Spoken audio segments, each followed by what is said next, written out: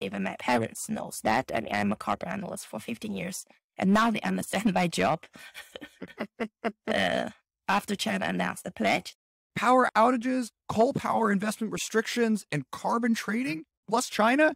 Yan Qin is a carbon analyst at Refinitiv based in Norway, here to explain all that and more. Co-hosting is my Rhodium colleague, Irina Liu. Yan, welcome to ChinaTalk. Thank you. Thank you for having me. So let's start with what's in the news this week, power outages. How did we get here? Maybe it's best to start with um, you know, a brief history of of China's energy mix and how it's how it's changed over time. Yeah, thanks. It's a very good time for having this podcast when really a lot of focus on China energy policy and following the power shortages in some provinces. And I would stress it regionally. It's not like, I mean, I've seen the title saying China back to Stone Age. I said, okay, hey, my parents video, I mean, that's so exaggerating. Okay. I, myself said there are over 20 provinces are curbing power partly to some industries in some cities for a few hours, right? But of course, this is, I mean, yeah, officially we call it the uh, worst uh, episode of power uh, shortages, uh, or to the, the extent it's so widespread. So this is the worst in a decade. So that is precise. Um, because previously, yes, I mean, back to, I can be back to 20 years ago since I'm also old enough to remember that in 2002 and also in 2010, there were a few uh, occasions where there have been uh, power shortages in some provinces, and as late as in December or as near as in December 2020, uh, where we have cold snap and we have power shortages in the central, in Hunan and Jiangxi, etc. So yeah, it is true it's happening more frequent, but overall, I mean, if we look at a broad eye view of China's energy mix, uh, China is a country rich in coal supply, and coal is supplying more than 60% of the China's power supply. And we say 50, so it's more than half of the country's energy consumption. So that shows how the energy mix is. And uh, uh, this picture has changed a bit in past 20 years. I mean, we all heard of how renewables is building so fast, etc but uh, currently coal is still dominating in China's energy mix. And this that's why it always puts uh, China in the uh, spotlight in terms of climate policy. So why does China go through so many episodes of power outages? It seems like it happens quite often in the winter. Yeah. So I think that, uh, I mean, uh, history does repeat a little bit. Uh, when in 22 and 2010, that is when China had rapid economic expansion. So uh, industry grows rapidly. And of course, then you need a lot of energy where, I mean, industry still uh, consuming more than half of China's energy consumption. Uh, yeah, so with such a energy intensive, uh, let's say, uh, economic structure, the demand for energy is enormous. So that's why there have been outages, etc., or short uh, energy supply previously. But um, I think there are specific reasons for what happening now and what happened in December 2020. Uh, uh, this is also showing where the country is transitioning to a more renewable based uh, energy mix. So, I mean, green transition is the theme all over the world, which is uh, definitely considering what we have to do to save the globe, to save the earth. So, uh, yes, that's what's necessary. Uh, but on the other hand, uh, when we have very stretched on the supply side, we are phasing out fossil fuel. But this year we have a strong rebound post COVID. Again, it's happening not only in China but globally. So supply cannot meet short-term surge in demand, and then we have a the crunch. Yeah, it seems like the whole world is going through an energy crisis right now. Do you feel like there are any similarities between like the petrol sh- shortages in Europe with what's happening in China? Yeah, uh, yeah, me, I myself, I said I'm based in Norway, I was analyzing China climate uh, policy. I mean, right now there are similarities. In uh, Europe, I mean, UK specifically, that petrol shortage and that's bit logistics challenges we have seen. Uh, but in Europe, energy prices are increasing. In Norway, our power price even even though in Norway it's almost 100% uh, hydroelectricity, power prices has increased this year considerably compared to last year, and the same for all European countries. Every day is almost a new record. So all of our utility bills will be more expensive this winter than previously. So this, I mean, there, this is part of it is global. Globally, gas prices are increasing, coal prices uh, are increasing, and so there are some factors definitely uh, common uh, around the globe. So it's it's like when everyone is buying at the same time. I, I'm curious, Yan, because this seems like a very dramatic thing to happen that you know futures markets should have like priced in or something. Like, are there were there like big exogenous shocks that led to what's happening right now, or just like a lot of like different sort of streams of things happening building up to something like this? And you know if it's the if it's the latter or the former sort of what does that say about the health of the global i don't know energy chain I'm an energy market analyst, so this really go to my heart because I work with traders a lot. there are uh, many parts, and uh, uh, but we call it a perfect storm. Uh, to be started with, me as a market analyst, I haven't exactly predict this sharp rise or tripling in prices. I mean, I would have started a hedge fund if I correct with that. Uh, or I would hedge my house's electricity bill last year at a fixed price, which is one third now. But uh, with the sharp rise is uh, surprised uh, most people in the market.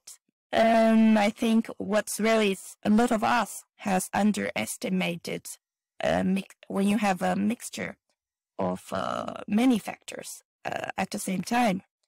Uh, so, of course, I mean, as I said just now, uh, when the whole world is recovering from uh, COVID restrictions, industry are recovering. Of course, demand for energy is rising. and secondly, this year was a bit special. We have, in terms of weather impact, when Europe is moving to a more more renewable based power system. So we're more depending on wind turbines and solar panels. But uh, in terms of weather conditions, this year what there are less. Uh, there are days with very low wind. Uh, and also in Norway, in Spain, in the Alps, there have been less uh, rain, less snow and rain. So it's like everything tilted the same direction. Well, of course, in Norway, we're happy when it's sunny and nice weather, but now we see that it's what leads to more expensive energy prices. Okay, so so what's the worst day for a renewable energy? It's like cloudy with no wind and no rain? Yes. And also I think what also happens is we call it when you have in the summer when you have heat wave, that's where uh, it's always in the still day. So heat wave that's when your energy demand, your power demand is uh, high and but at the same time still. And the same can happen in the winter. And that's part of the reason we have the uh, winter power shortages in central China in last December. It's uh, in the cold snap and there's less wind as well.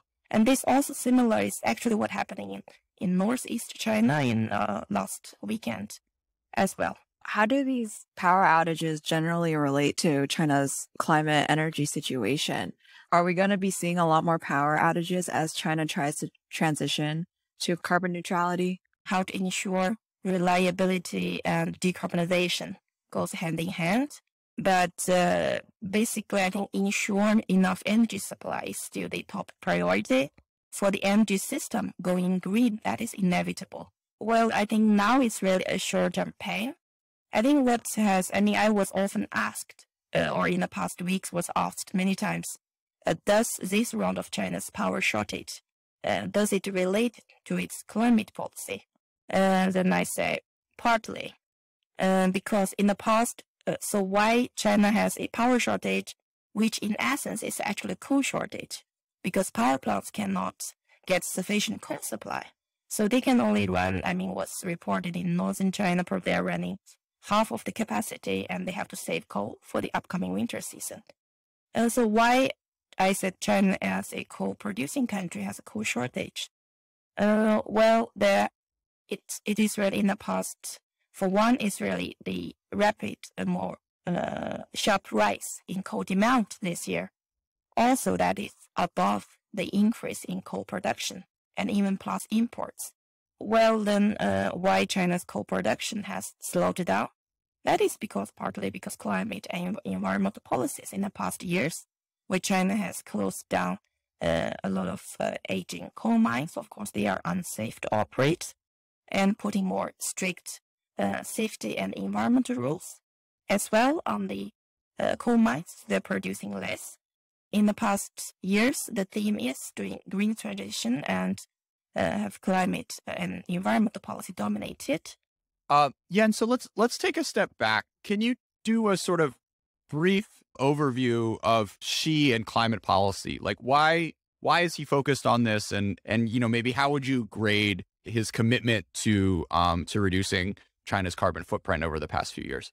I mean, we hear a lot about China's climate pledge, but what's really significant uh, is that so China accounts for 30% of global uh, carbon emissions, and it's the biggest emitter. Uh, also, its per capita emissions also rising. And so, yes, it means China needs to take more responsibility in tackling climate change. In last September was really significant. On 22nd September in 2020, so Chinese president pledged that China will strive to achieve carbon neutrality before 2060. So this is like 10 years behind what the European Union has pledged. But I mean, given the size of China, etc., I mean, that's the first time. Last September was the first time China announced a carbon uh, year of carbon neutrality. So that is huge. And in addition, and China Chinese president also announced China will aim to peak carbon emissions before 2030. I mean, that really signals China is willing to contribute more to the Paris Agreement, to global climate efforts. I mean, it's estimated that with China's carbon neutrality pledge, we could already contribute to reduce uh, global warming by around uh, 0.2 to 0.3 degrees simply because the size of uh, China or the large share of its emissions. So it's very significant. And and over the I mean since last September, in the past years, we have seen China gradually making more pledges, building upon the carbon neutrality uh, goal. So as say China uh, has set new 2030 climate targets, China will tripling its wind and solar installed capacity by 2030 so basically install, installing at least 100 gigawatts of combined wind and solar capacity per year. Now, I mean, as recent, we've also heard at latest uh, in a latest United Nations General Assembly where China announced it will stop building new coal-fired plants abroad. Uh, so, I mean, this is uh, injecting a lot of good momentum ahead of uh, the climate summit, ahead of COP26 in Glasgow in a month's time or end of this month. So that's a brief summary of China's climate pledge and why it matters.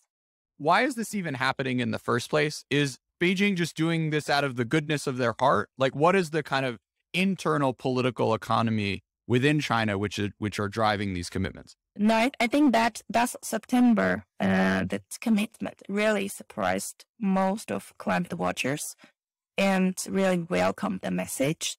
I think they are, uh, the outcome will be beneficial, let's say, for global uh, climate efforts. But I think there are uh, indeed a lot of, as you said, uh, internal political and economic incentives as well. And to start with, I think Chinese leadership is more aware of the impacts of climate change on China.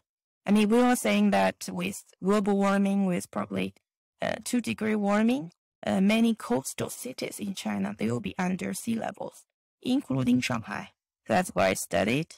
But, but Yan, I thought we're supposed to develop the West. Best. okay, fair. yeah, uh, and uh, and second, exactly as you mentioned, develop the West. So which means China, uh, as actually as we mentioned in the beginning, uh, in the past, I mean since the 1978 reform, uh, opening and reform of Chinese economy. Uh, then uh, China's economy has been heavily relying on uh, industry, or especially the more energy intensive. In, um, and when in the world, almost everything is made in China.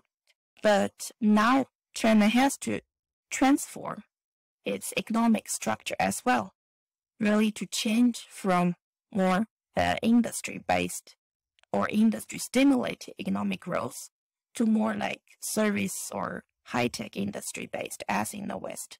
So I think industrial transformation is also part uh, of the reason. It's more densely populated on the east coast, as we call them as load center, or most energy will be consumed on the east.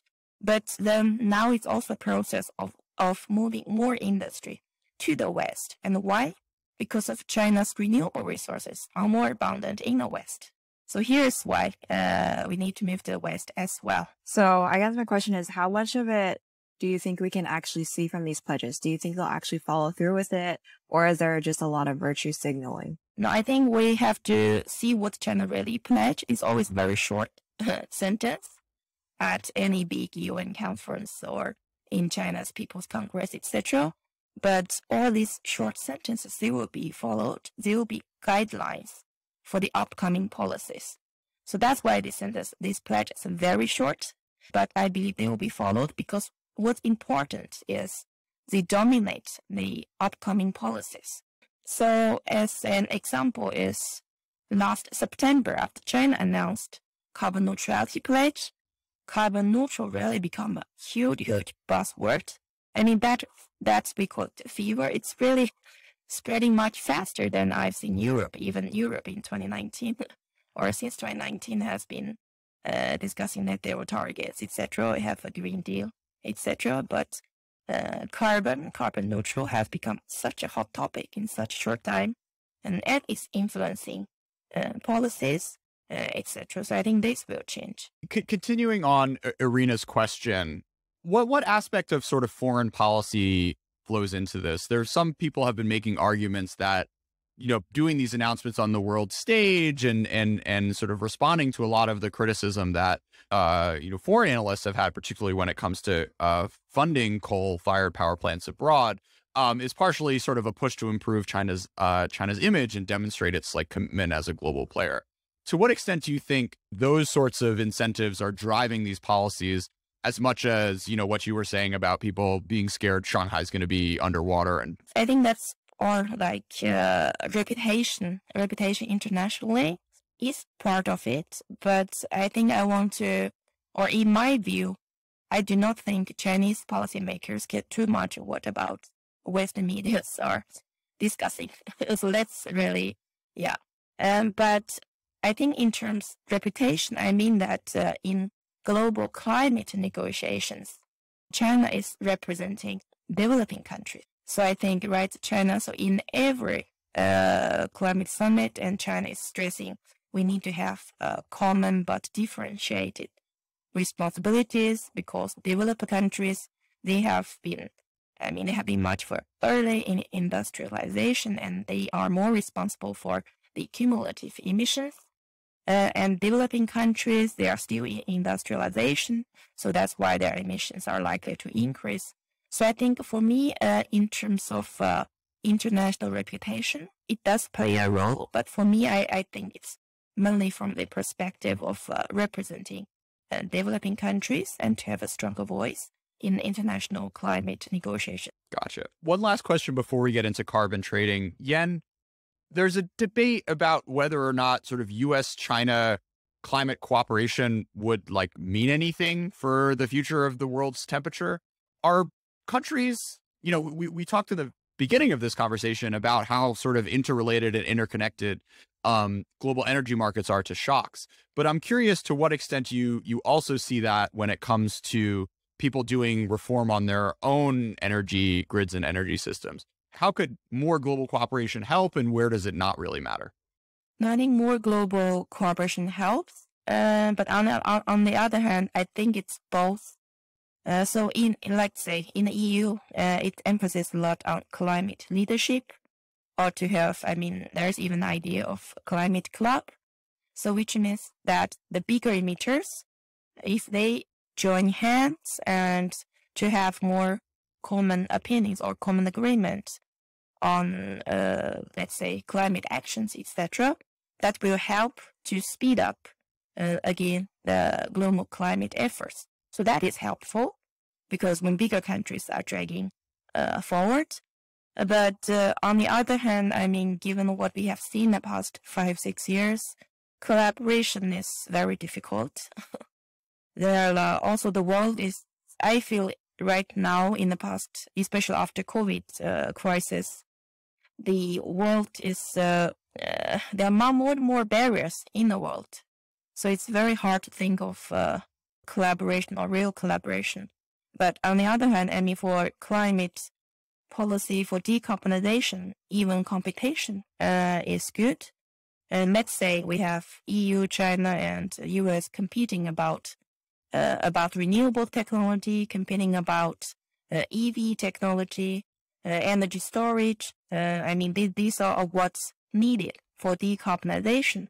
So in that, uh, collaboration can drive innovation and competition can also drive innovation.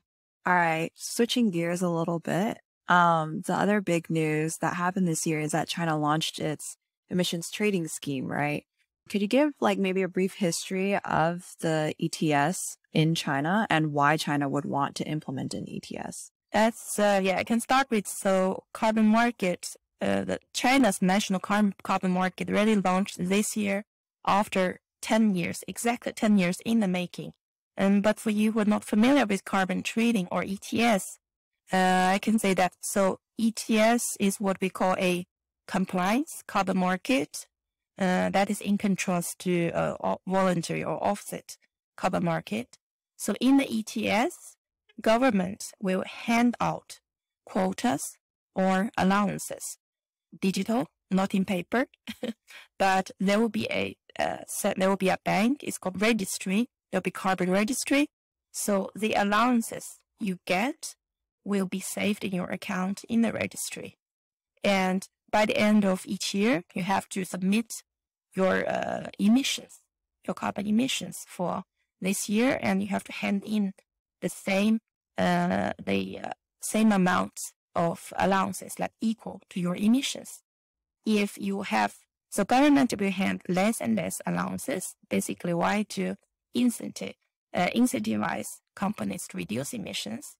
And so if you have less allowances, you have to either, let's say, increase your efficiency or produce more cleaner uh, or you have to buy allowances from others who have surplus. So this is why carbon trading. So in the ETS was treated allowances. So in the world that uh, the European uh, carbon market, the EU ETS, has been in place since 2005, and it accounts for uh, over 80% of global uh, carbon trading volumes uh, in the form of, let's say, uh, futures, options, options, etc., all form of financial products. And and China's national ETS starting this year, uh, and but it has began the process in 2010. Well, uh, why? Um, I think that uh, because China need an effective carbon price signal, so as to so in a market where buyer and seller uh, they trade their allowances, so that can help to um, able to form a uh, very effective price signal. I mean, that's a, a free market it is, and which can really uh, be an uh, cost-effective way of reducing emissions. So China has been borrowing a lot of experiences from the EU, and also that was including the UK as well in the past years. There's a lot of uh, knowledge transfer and capacity building. So in this uh, in this year, China start its national ETS and trading started officially on 16th of July. In terms of covered emissions, I mean, as I said, China is the biggest emitter in the world. So in terms of China's carbon market only covers the power sector. And so basically all of the coal and gas power plants in China and their emissions are around 4.5 gigaton. So that is almost three times more than what the European carbon market covers now or twice of the European carbon market when it was started. So in terms of covered emissions, China's national carbon market is huge. What are some major differences, maybe, or similarities between the EU ETS and China's ETS, considering that China's carbon market is going to be much larger? Yeah. Um, there has been a lot of uh, so China ETS uh, really has borrowed a lot of experience from the EU ETS.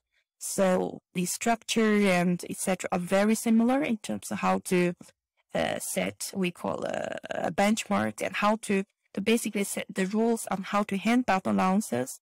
A lot of it's very similar. A key difference though is that uh, the target, the one I mean that uh, in the ETS government will hand out less allowances. And in China, that uh, the target currently is again an intensity-based target. Uh, so meaning that it's only measured based on per kilowatt hour of your CO2 emissions per kilowatt hour of power output. Uh, so that means there is no absolute amount of emissions in China's ETS on the top. That's in contrast to the EU ETS. In the EU ETS, how much allowances will be handed out uh, each year is already been decided already 10 year ahead and it's in line with the climate target. Uh, and China currently set a, it's called yeah, intensity or rate based target. Um, but um, I think we'll, of course, uh, as China has pledged to peak carbon emissions before 2030, uh, so China will eventually set an upper limit on the CO2 emissions. And that will really define uh, how many allowances will be covered in the carbon market because China's carbon market is supposed to is cover power sector now uh, around 40% of China's emissions, but it's also uh, aimed to expand to all the industry sectors by 2025. So by then it will cover more than 70% of China's emissions. So let's say the role of carbon trading in China will uh, also has a potential in the next years. So do you think that China's ETS will actually be effective in reducing carbon emissions? Well, let's let's see what you compare to. I mean, still, uh, when we think of China, that's every mechanism designed in China will be with Chinese characteristics. So yes, and on the other hand, exactly because China has set the uh, the target to peak emissions before 2030, so there is a lot of uh, regulatory measures, or we say command and control, already in place. Uh, and uh, the industry sectors I talked about, the steel sector enterprises, uh, etc., they already pledged to peak emissions by 2025. So there are already uh, other measures uh, simultaneously being implemented alongside the ETS. So I think that's minimizing the role of what ETS can play uh, in contrast to what really is happening in Europe, uh, where we have carbon price of 64 euro per ton today, and in China was around 42 yuan, so 6 euro. And as of, I mean, not holidays closed, but as of its last uh, on 30th September. So the price level was super, uh, quite different. I think a low price level, of course, it will have also minimal impacts on reducing emissions yeah, I mean, in that sense, I would say regulate, regulated measures uh, could have bigger impacts in reducing emissions compared to the ETS. The objective of the ETS, there are two. Uh, one is really to establish a very good carbon or emissions accounting uh, system of the country. I mean, this has been a point where uh, China hasn't uh, been able to establish yet. And let's say, I mean, have you the last official emissions for China uh, was in 2014. So yeah, let's see, it's quite lagging behind in terms of uh, GHG, we call it, or the greenhouse gas emissions uh, accounting system, as you have in Europe, in America, etc. Uh, yeah, but the second is also to use the ETS to start to have a price signal, even though it's low, six euro. But this price signal could uh, provide uh, as a reference for other policies. And I think that carbon, for some sectors, ETS is more suitable, but for, let's say, transport sector, etc., uh, maybe a carbon tax is more suitable. Uh, but then the price from the ETS could as a reference when you're setting the tax rate, etc., in the future. So there will be multiple policies. There will always be both uh, regulated and market based. You know, we've seen this dramatic increase in sort of popular attention, yeah. um, at least in the in the U.S. and Europe, towards energy policy. I'm curious, to what extent is is momentum for climate change and reform a uh, a popular issue? So I think first of all, when I grew up, I think environmental policy or environmental impacts was uh, much more important.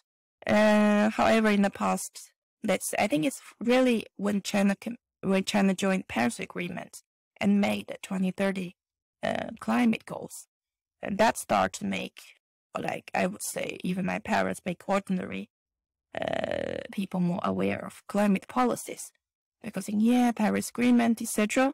And again, I think we have more and more extreme weather events in past years. Uh, I mean, this July is exactly my hometown in Xinxiang, where we had the, it's besides Zhengzhou, and where we, we had the flood one day after each other, uh, the severe flood. Uh, so that's very extreme. But already in 2016, that's in the summer holiday, when I was in Xinxiang, we actually had the same flood in that morning. So extreme weather events is becoming more frequent. So I think that is really driving people's awareness, right? You have, we're seeing more reporting of, yeah, I mean, this is linked to climate change and etc. We have more, more heat waves in the summer, more cold snaps in the winter, and more droughts or the severe flood. And so I think that's driving uh, really more people more aware of it. Um, but of course, any officially what really changed last September until now I think it's really broad uh, educating of what carbon neutrality is and is really changing. So I, again, I even my parents knows that, and I'm a carbon analyst for 15 years, and now they understand my job uh, after China announced the pledge. So I would say that's a big change. So now it's very easy to explain to them what I do as carbon analyst. So what do you say? You say I make sure that China's doing what it say it, what it says it does. Yeah, I said I said no. I make sure some people can earn money back to carbon markets, what do you predict for the price of carbon in China? Like, should we be investing in certain ca- carbon offsetting companies or something? No. Now it's not allowed um, to, uh, or you can, uh, or what you do, you can register a power plant or a coal plant in China. Uh, no, I think for the national carbon market, the threshold is quite high. You have to be, uh, it's uh, certain, uh, you have to be emitting certain ton of CO2 per year and energy consumption. So it's mainly targeting at the bigger emitters. Um, but what's uh, quite, I mean, we have a price forecast as well as, as my profession. Uh, so I think it's with my yeah, evaluation of abatement costs or etc. only. Yeah, it's very technical. Um, but I think that, uh, yeah, something between, yeah, it will be gradually rising. So with carbon market price, we always gradually rising because why? Because government has reduced the allowances they handed out. And second, carbon price has to increase for it to have, for carbon price to have, they can incentivize emission reduction. So that's two. Um, but in, in addition, I think what's really interesting is in addition to the national carbon market, there are eight regional pilots or uh, provincial or city pilots, which has been existing since 2013.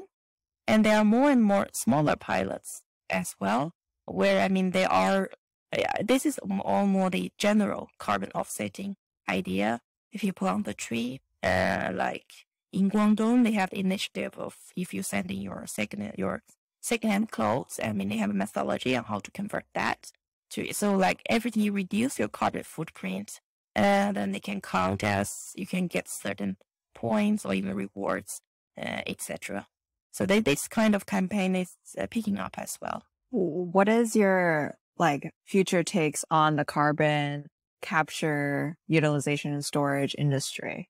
Do you see a lot of investment going into that industry from China? I think this this is a global effort. Uh, in um, in China, I mean, there are uh, very good literature on that. Even the government published the CCUS uh, white paper or progress report with a very good map of the or detailed information of the pilot projects. But from the experts, I think that uh, it's uh, the technology is not mature at the moment. It's more in a pilot stage, and in terms of abatement costs, so it's still around at least eighty dollar or hundred forty dollar per ton, and so quite costly. Uh, I mean, let's say, uh, and also even I, when I speak to power enterprises, utilities in China, they are less enthusiastic about this. because they could have just invested in renewables, right? So the best emission is the one you don't emit. Uh, so I think this is not what could happen in a large scale in next 10 years. But uh, if we look very long ahead in the 2050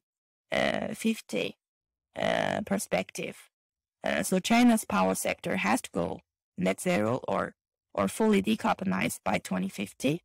So there will be some coal plants or gas plants still running uh, after 2050 uh, when the power system is mainly supported by renewables. But then the last bit of uh, fossil generation will need to be equipped with CCUS. And so I think we, yeah, it's just the time isn't ripe for that now. So right now we we can follow the uh, pilot schemes, and there are some some of them are quite successful successful as well. But on a wider scale, I think we have to at least for the next uh, ten years. In general, are you optimistic, hopeful for our climate change situation? Uh, me, I think we are. Uh, I think after China committed to it, I'm I'm more optimistic. Mean, it's not because I am Chinese and that, but I think that when Chinese leadership and Chinese citizens start to be aware of climate change risks, and uh, so I think that will drive a change. So I'm quite optimistic on the Glasgow on COP26. Yeah, and I was actually very nervous on 20 and this year, like uh, 26, 22nd of September in the evening, because really not sure if China will announce new enhanced pledge. It's one year marking, but then China really announced we will stop building coal plants abroad. Uh, so I think that I mean, so for one, of course, we can say China still has a lot of homework to do regarding coal plants inside China. But I think that Chinese leadership is building upon its pledges. It's a very positive signal. So this makes me quite uh, optimistic on the upcoming climate summit. Yan, thanks so much for being a part of ChinaTalk. Thank you. It's my pleasure. T，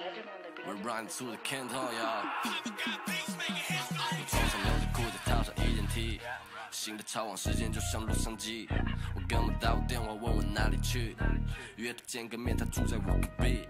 先选你帽子来跟我的手表配色，再坐上我哥们上个月刚买的车，我打开音量让他听未发布的歌，我保持新鲜，你就像没气的可乐。座塔，你可能见过在路上开装的宝马。我打开微信就有女孩来问我在哪，我没有备注，忘记是 Coco 还是 Lina。我在新生路，她在对我放电，有两个人住，我想跟我拍照片，她一直靠近我，把我当成靠垫，都在找插头找不到的在抱怨。Shawty wanna fuck with me. We're running to the GTC.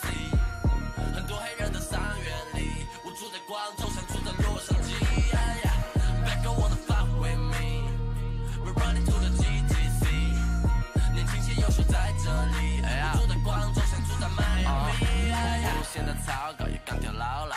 这城市太过烧脑，允许他逃跑。你要照顾一家老小，把工作找好。我情况不算糟糕，还没被考到。再看看那些钞票，每天被烧掉。你每天都在操劳，但却不高效。从海珠开到天河，实现到先得。我不用看谁脸色，不跟你牵扯。